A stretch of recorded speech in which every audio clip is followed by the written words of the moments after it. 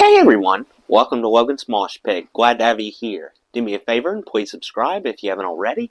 Johan Huizinga once said, No other discipline has its portals so wide open to the general public as history.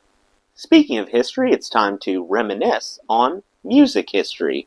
During each episode of Music History, I will tell you about some interesting music events that have happened today, November 17th. Unfortunately, it would take too long to cover everything that took place today, so I narrowed the list down to 10 crucial moments. I put them in chronological order. Let's begin.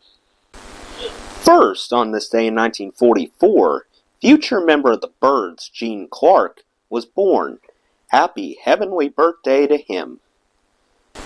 On this day in 1966, Jeff Buckley took his first breath.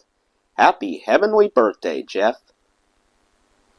On this day in 1979, Jethro Tull's top tier bassist John Glascock tragically passed away at age 28. His death was caused by a congenital heart defect. Rest in peace, John. On this day in 1980, former Beatle John Lennon put out an album titled Double Fantasy merely one month before his untimely death. Him and his wife Yoko took turns singing through 14 different songs. Double Fantasy managed to go triple platinum in America alone.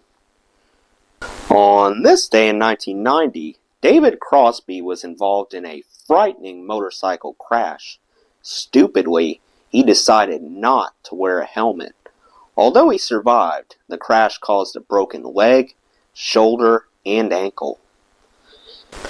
On this day in 1998, following an eight year break, Whitney Houston finally unleashed her fourth studio album known as My Love Is Your Love.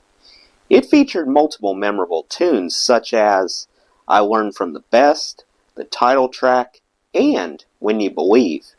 The album performed rather well, selling more than 4 million copies in the US. On this day in 2003, 21 year old Britney Spears broke the record for the youngest to receive a star on the prestigious Hollywood Walk of Fame. Also on this day in 2003, country legend Blake Shelton wed his beautiful bride, Kaynette Williams. Their marriage only lasted three years. On this day in 2014, beloved boy band One Direction distributed their fourth studio album, creatively called Four. Stellar songs like Night Changes and Steal Your Girl helped this album earn a platinum certification in America. Last but not least, on this day in 2021, Keith Allison met his demise. Keith was 79. He collaborated with a wide variety of musicians, among them Sonny and Cher, Roy Orbison, the Beach Boys, Chuck Berry, Alice Cooper, and Paul Revere and the Raiders. Rest in peace, Keith. Well, that's it. What's your favorite thing that occurred on November 17th? Let me know in the comments. That does it for today's video, guys. I hope you enjoyed. Make sure to like, comment, and subscribe if you haven't already. I really appreciate the support. I'll see you next time. Till then, rock on